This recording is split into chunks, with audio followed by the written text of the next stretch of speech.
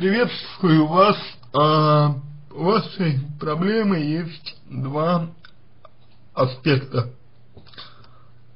Первый аспект касается того, что вы даже не столько серьезно воспринимаете мужчин, сколько э, по какой-то причине э, верите им. Вот исходя из того, что вы написали, можно сделать такой вывод, что мужчина все это спланировал.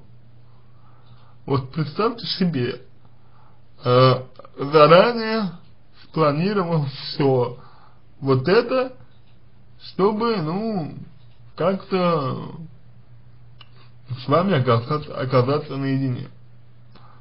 Потому что, ну, не похоже вот со стороны, э, никак не похоже на то, что э, все было действительно так. То есть там оказалось не, некуда идти, нет ключей, он предложил э, вам поспать у, у вас, в общем, все это, знаете, э, напоминает такую вот заранее отработанную стратегию. И вопрос заключается в том, почему вы э, этому верите. Это первое. То есть э, я бы сказал о том, что вы очень э, доверительный человек. То есть вы легко доверяете другим людям, незнакомым. То есть да, с одной стороны вы говорите, мол, э, мы друг друга плохо знаем, да, раз друг друга знаем плохо, то, соответственно, э, никаких интимных отношений. Это правильно. Но, с другой стороны, если так подумать, вы уже а, незнакомого человека, которому вы не знаете, пригласили к себе в дом. И для многих мужчин вот это означает, что вы как бы сами, ну, вообще говоря, сами намекаете на э, наличие у вас интимных отношений. То есть, понимаете, как происходит? Мужчина считает, что если вы пригласили его к себе домой, то это значит, что он может рассчитывать на интим с вами.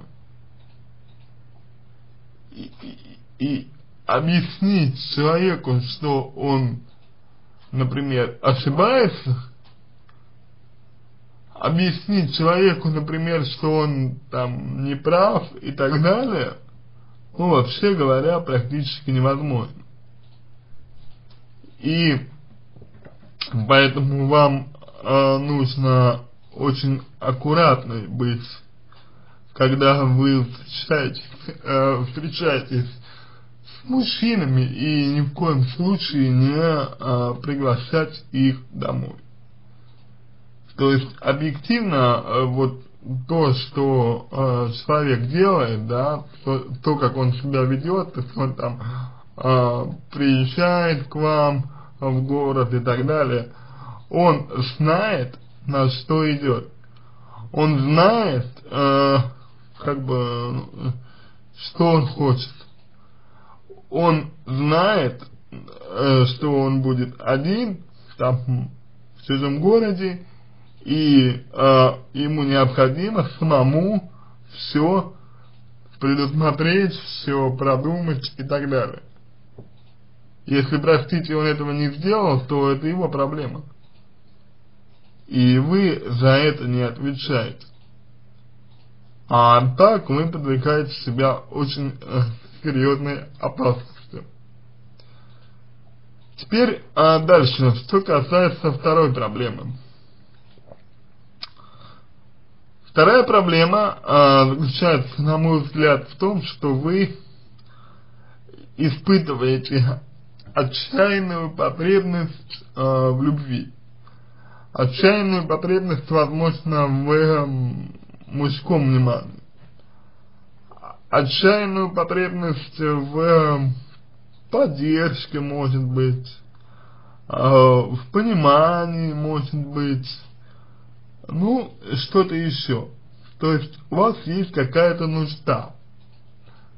У вас есть какая-то нужда э, в мужчине или просто в близком человеке, на которого бы вы могли там, например, положиться.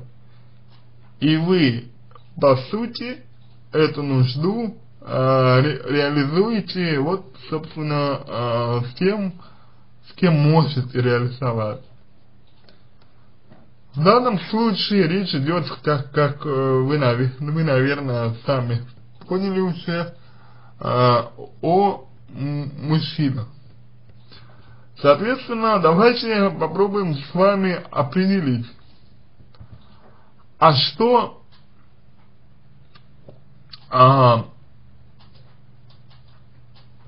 вами движет, чего вам не хватает а, что вам, э, что вам нужно, в чем вы нуждаетесь. Попробуйте ответить э, на эти вопросы для себя. Какие у вас есть потребности? И вот постарайтесь э, эти потребности для себя определить постарайтесь эти потребности для себя выявить. И когда и если вы это сделаете, вам станет легче понимать, э, почему мужчины, почему молодые люди так э, активно э, поселяются у вас в сознании. Почему они не выходят у вас из головы. Ведь на это же есть причины. Я надеюсь, вы понимаете, что у этого есть причины. Так вот, давайте же мы с этими причинами с вами и попробуем поработать. Когда и если будут ясны ваши желания, то с ними, с вашими желаниями, уже можно будет что-то сделать. Вы можете, если вы сможете, точнее, удовлетворять их напрямую, адекватно, тем самым вы и обеспечите себе независимость и защиту от подобных вмешательств в ваше личное пространство. Ну что ж, пожалуй, думаю, на этом можно закончить. В принципе, а, все вам рассказал что хотел, что увидел по э, вашей проблеме.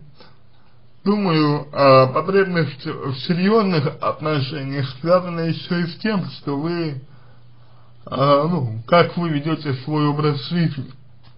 То есть вполне вероятно, что э, у вас нет этих серьезных отношений.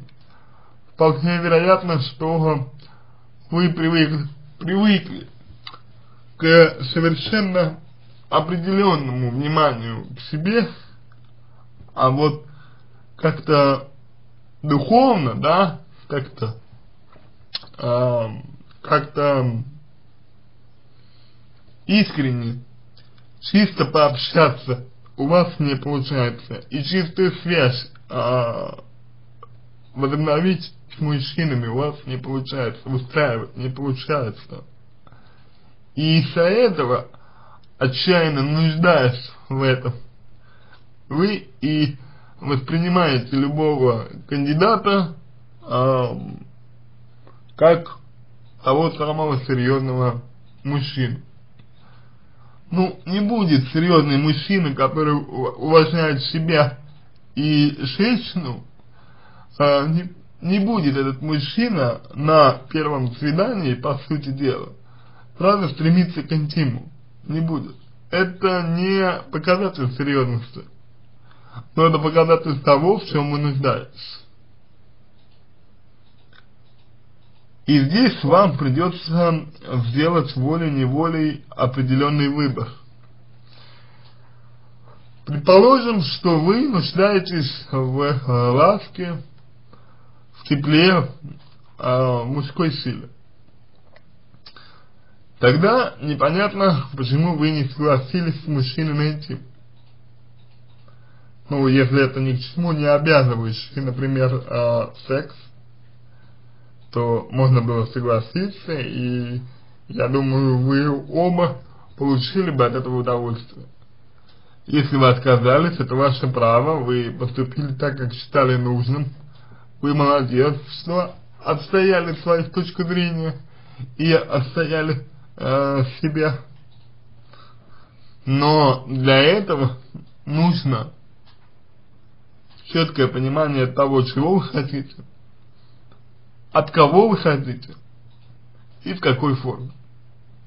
Потому что если, например, вам нужен мужчина, то нужно активно взаимодействовать с самыми разными людьми, проявлять себя с самых разных сторон, заниматься как можно большим количеством деятельности, э, увлечений, хобби, чтобы люди видели вас, чтобы люди замечали вас, и чтобы однажды мужчина увидел вас не только интимного партнера, но и человека, и личность, индивидуальность духовного, так сказать, носителя, культурных ценностей. Но для этого нужно уметь себя раскрыть. Быть может, э, вы сами того не осознавая своим поведением, как-то позволяете мужчинам думать о том, что вы девушка легкого поведения, например. И понятно, что вы этого не хотите. Понятно, что вы ни о чем таком не думаете. Но мужчины думают. И значит, нужно пересмотреть то, как вы себя ведете с ними. Возможно, пересмотреть ваше поведение, вашу хореографию движений, то, как вы говорите. Возможно. Тогда у вас все будет э, более-менее так, как вы того хотите. Но это определенная работа над собой, в любом случае. На этом все. Надеюсь, что помог вам. Если какие-то вопросы остались, обращайтесь в личку. Помогу. Если вам понравился мой ответ, буду благодарен, если сделаете его лучшим. Желаю вам всего доброго и удачи.